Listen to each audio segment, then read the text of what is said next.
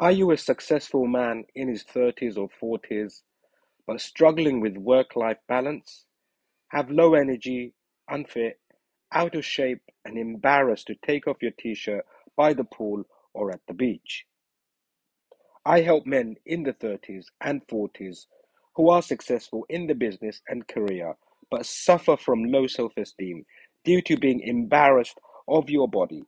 I can help get you the dream body with more energy, greater self esteem, and self confidence through my 3D fitness system. One, diet. Two, discipline. Three, determination, overarched by consistency. If this sounds like you, then click the link for a free telephone consultation and find out how I can help you.